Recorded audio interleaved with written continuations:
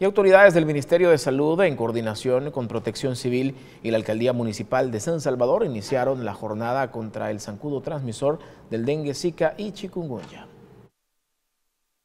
Abatización, fumigación y orientación a la población fueron parte de las medidas con que las autoridades realizaron la primera jornada contra el zancudo transmisor del dengue, chikungunya y zika que se realiza a nivel nacional. Inicia la jornada y para nosotros es importantísimo volver a insistir que estamos trabajando no porque haya una epidemia, sino porque precisamente ahora tenemos éxito.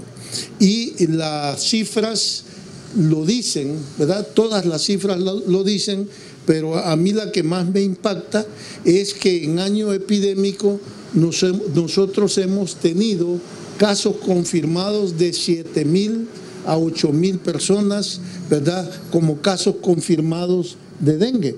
Y hoy tenemos un total de 115 casos confirmados. Por su parte, la ministra de Salud hizo una serie de recomendaciones que debe tomar la población para prevenir los criaderos de zancudo y las enfermedades provocadas por este insecto. Esta semana estamos desarrollando todo lo que ustedes ya conocen, la jornada escolar, la jornada comunitaria, la jornada institucional, eh, bueno, todas, todas esas jornadas que vamos a desarrollar en el transcurso de la semana y le llamamos a la población que siempre tenga el cuidado de destruir los criaderos en su casa para que no nos sigan aumentando los casos de dengue que como repito este año hemos tenido un número más, hemos tenido un número mayor de casos y sobre todo de casos graves, pero que en ningún momento llegamos a zona epidémica de acuerdo al corredor endémico. Las jornadas que realiza el Ministerio de Salud junto a la Comisión Técnica Sectorial de Salud